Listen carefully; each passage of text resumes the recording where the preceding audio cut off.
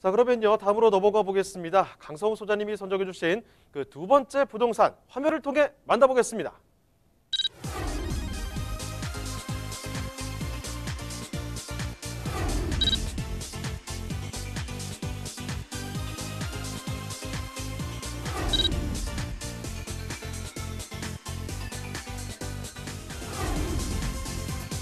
강성우 소장님이 선정해 주신 두 번째 부동산 네트워크 영등포구 신길동에 위치한 통건물입니다.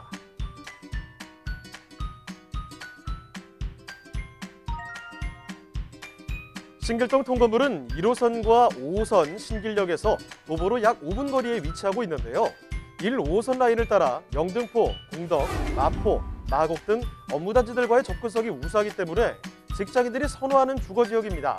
자, 소장님, 어, 신길동 바로 옆에 한국 금융의 중심지인 여의도가 위치하고 있죠. 네, 그렇습니다. 여의도는 이제 금융업계 외에도 뭐 정치와 IT, 뭐 여러 가지 방송 등 서울의 중심 업무 지역이라고 말씀드릴 수 있는데요. 그러, 그러다 보니까 이제 직장인들의 수요가 아주 풍부한 곳이라고 말씀드릴 수 있겠습니다. 그에 따른 이제 배우 수요도 늘릴 수 있는 그런 입지에 있다 이렇게 말씀드리겠습니다. 소개드리는 통건물의 경우 5호선 지하철 이용이 편리할 뿐만 아니라 도보와 자전거로도 여의도 출퇴근이 가능해서 직장인 수요가 늘어나고 있습니다.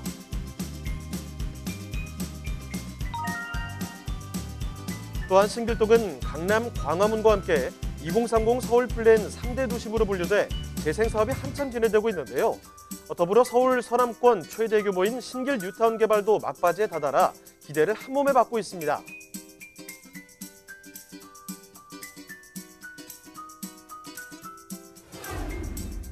주변 개발 호재로 수요자들의 관심이 몰리고 있는 곳 영등포구 신길동의 통건물입니다.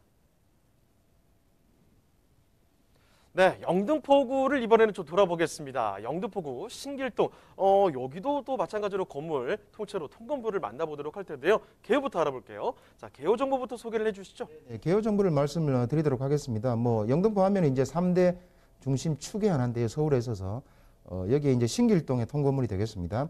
위치는 1, 5호선 신길역에서 약 도보로 5분 거리에 있는 건물이 되겠고요. 어, 면적은 대지 면적이 181.15제곱미터가 되겠습니다. 연면적은 299.18제곱미터가 되겠고요. 어, 층수는 전체적 지하 1층에서 지상 4층 옥탑으로 구성되어 있는 건물이 되겠습니다. 어, 구조를 조금 더 이제 세밀하게 보시게 되면 원룸이 이제 8호실, 그 다음에 투룸이 5호실, 3룸이 1호실, 그래서 총 14세대로 이제 구성이 되어 있습니다. 준공은 2016년 1월 11월 달에 준공이 완료된 건물이고요. 매매가는 22억 원 예상이 되겠습니다. 네, 그러면 이어서 건물 특징도 좀 봐주시죠. 네, 건물의 외관적인 특징을 이제 좀 보시게 되면 아까 말씀드린 대로 전용 면적이 이제 대지 같은 경우 181.15 제곱미터가 되겠고요.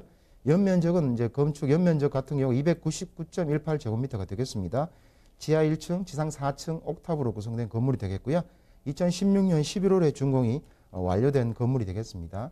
원룸이 8세대로 이제 구성되어 있고 투룸이 5세대, 쓰리룸이 한 세대로 되어 있기 때문에 어, 건물 쓰리룸에 이제 거주하시면서 전체적인 또 13세대에 대한 또 임대 수익을 누릴 수 있는 건물이 되겠고요.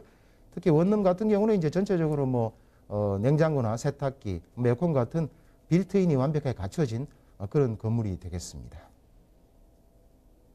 자, 이번에는 2016년도에 준공이 된 건물인데요. 조금 전에 만나봤던 건물보다 조금 다채로운 구석이지 않나 싶습니다. 어, 원룸, 투룸, 쓰리룸이 지금 다 들어가 있거든요. 원룸이 8개 호실, 투룸이 5개 호실, 쓰리룸까지 하나 지금 들어가 있는 상황이죠. 지하부터 해서 지상 4층까지 옥탑까지 포함되는 그런 통건물 만나보고 계십니다. 자, 그러면요. 영등포구 신길동 일대 이제 어, 자세히 좀 돌아볼게요. 밖으로 한번 나가 볼 텐데요. 어, 그러면 이쪽 어떤 곳인지 신길동 통건물 입지 여건 좀 자세히 좀 봐주시죠. 세부적인 입지 여건을 말씀을 드리도록 하겠습니다. 뭐 입지 여건 하면 뭐니 뭐니 해도 이제 아무래도 어, 지하철을 중심으로 많이 생각을 해야 되는데요. 어, 지하철 같은 경우에는 1호 5호선 신길역에서 약 도보로 5분 정도 거리에 있는 어, 그런 통건물이 되겠습니다. 그 아래쪽에 보시게 되면 또 7호선 뭐 신풍역, 보라임역이 있- 있게 되겠고요. 그 다음에 또 영등포 대방역도 있기 때문에 전체적으로 지하철을 어, 편리하게 이용할 수 있는 그런 입지에 있다 이렇게 말씀을 어, 드릴 수 있겠습니다. 마찬가지로 이제 이쪽 지역 같은 경우도 어, 뭐 바로 이제 올림픽대로라든가 강변북로를 또 수월하게 이용할 수 있는 그런 입지에 있는 어, 그런 물건이다 말씀을 드릴 수 있겠습니다. 어, 조금 더 세부적인 입지를 조금 더 말씀을 드리면 어, 주변 같은 경우는 이제 뭐 복합 쇼핑몰이나 뭐 대형 마트 등 이런 생활 편의 시설이 밀집이 되어 있습니다. 영등포 같은 경우는 이제 여러 가지 특화거리라든가 주변에 업무시설들이 많이 이제 들어와 있는 상태고 또는 도심 재생의 핵심 지역으로 되어 있다고 말씀드릴 수 있는데요. 뭐 영등포 시장이라든가 뭐 타임스퀘어 등 여러 가지 갖춰져 있고요. 인가 또 용마상도 아, 다 이제 더 있다 이렇게 말씀을 어, 드릴 수 있겠습니다. 그 다음에 중요한 게 이제 업무에 대한 시설에 대한 내용들인데요. 뭐 항상 이제 어, 배우적인 주거 단지로서의 이제 그 입지적인 가치도 늘 이제 세밀하게 보셔야 되는데요. 어, 이 같은 경우는 신기는 바로 위에 이제 여의도가 있기 때문에 여의도의 이 업무지구 배우 수요지구로서는 그 입지적인 가치는 굉장히 풍부하다고 말씀을 드릴 수 있겠습니다. 왜냐하면 그것 때문에 이제 바로 옆에 붙어 있습니다. 하단 같은 경우에 신길 뉴타운이 이제 있게 되겠는데요. 뭐 신길 뉴타운 같은 경우는 서울에서도 두 번째로 큰 뉴타운이 되겠습니다. 그래서 굉장히 규모도 크고요. 현재 이제 개발들이 많이 진행이 되고 있고 그 가치도 사실 많- 상당히 많이 올라간 지역이라고 볼 수 있겠는데요. 그래서 어쨌든 이 영등포 어, 신길동 이 부분들 자체는 계속 지가가 지금 상승하는 지역이다 이렇게 말씀을 드릴 수 있겠습니다. 거기에 따라 신안사선 같은 경우도 지금 착공에 들어가 있기 때문에 이 지역들 자체가 어, 가치 재개발에 대한 다른 가치는 계속 꾸준히 올라갈 수밖에 없는 어, 그런 입지에 있다 이렇게 말씀을 어, 드릴 수 있겠습니다. 그다음 이런 업무 지역 말고도 이제 그 또 대학가도 이제 많이 밀집이 되어 있죠. 인근에 보시면 뭐 서울대나 뭐 숭실대, 중앙대 같은 또 대학교들도 많이 밀집되어 있기 때문에 학생 교직원 수요도 풍부한 곳이다 이렇게 말씀을 어, 드릴 수 있겠습니다. 그 다음에 조금 더 확장해 가지고 이 지역 자체의 업무세를 조금 더 어, 보시게 되면 어, 상암 아까 말씀드린 것처럼 여의도 이제 금융타운 정치 IT 중심이죠. 바로 북쪽에 큰 업무 시설이 이제 배치가 되어 있고요. 조금 더 이제 올라가시게 되면 어, 상암 DMC도 바로 이쪽에 북쪽에 있고 있게 되겠고요.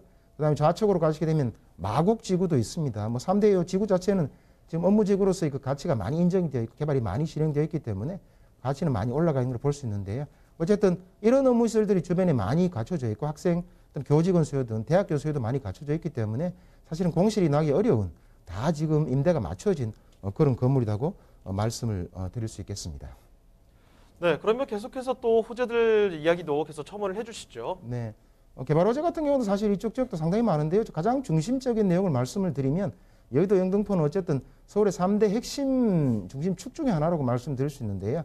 핵심 중심이다 보니까 이제 재개발 그동안에 이제 그 서남권 자체가 개발이 좀 미진한 것이다 이렇게 말씀드릴 수 있겠는데요. 그러나 이제 이쪽 자체가 도시 재생의 핵심 지역으로 이제 어쨌든 부각이 되면서 주변 개발들이 많이 진행이 되고 있다고 말씀드릴 수 있는데요. 그 중에 큰 축이라고 말씀드리는 게 여러분도 많이 아시는 신길 뉴타운이라고 말씀드릴 수 있겠죠. 신길 뉴타운 같은 경우는 서울에서 이제 장인 뉴타운 다음으로 사실은 규모 면에서는 굉장히 큰 뉴타운이 되겠고요. 가격도 굉장히 많이 올라가 있다고 말씀을 드릴 수 있겠습니다. 특히 이제 신길 뉴타운 같은 경우는 또 신안산선이 이제 어, 인근에 이제 착공에 들어가서 들어가기 때문에 그 가치는 많이 올라갈 수도 있다고 볼 수 있는데요. 어, 최근에 이제 얼마 전입니다. 가치를 알 수 있는 바로 이제 가장 큰 바로미터 중에 하나가 어, 제 5구역 같은 경우에서 이제 59제곱미터 그러니까 예전에 이제 분양이 될 당시에는 이제 그 뭐 한 5억 정도에서 이제 분양이 됐었는데요. 최근에 이제 보류지 조합에서 보류지로 남겨놓은 부분에 대한 입찰에 들어갔는데 그 입찰 가격이 11원에 이를 정도로 사실은 굉장히 많이 상승해 있다 이렇게 볼 수가 있겠습니다. 그래서 이런 신길 뉴타운이 배후에 깔려 있다 이렇게 볼 수 있겠고요. 그다음에 또 한 가지 큰 이슈는 이 신길 뉴타운을 중심으로 하지만 신안산선이 사실 착공에 들어갔습니다. 그래서 신안산선 같은 경우는 지금 서남권에서는 핵심 개발 축으로 지금 만들어지고 있다 보니까 이 신안산선 교통의 대규모 교통 호재와 함께 지역의 재개발 호재도 같이 지금 연계가 되어 있어서 신안산선이 들어가는 지역마다 지금 굉장히 역세권은 가격들이 많이 상승하고 있다 이렇게 볼 수가 있겠는데요. 특히나 이제 지금 말씀드리는 이 통건물 같은 경우는 신길 뉴타운의 바로 북쪽에 있으면서도 또 신안산선의 교통 호재도 누릴 수 있는 자리다 이렇게 말씀을 드릴 수 있어서 향후에는 어, 지역적인 입지 가치가 굉장히 현재도 훌륭하지만 도심 재생이 많이 이루어지면서 그 가치가 계속 올라가는 그런 개발 호재들이 주변에 풍부하게 내포되어 있다 이렇게 말씀을 드릴 수 있겠습니다. 네, 신길 뉴타운 이 뉴타운 개발 소식들 이런 수에 붙어해서요. 뭐 신안산선이라든지 교통호재까지 이렇게 한아름 개발 호재를 품고 갈 수 있는 곳이 이 영등포구 신길동이 되겠습니다.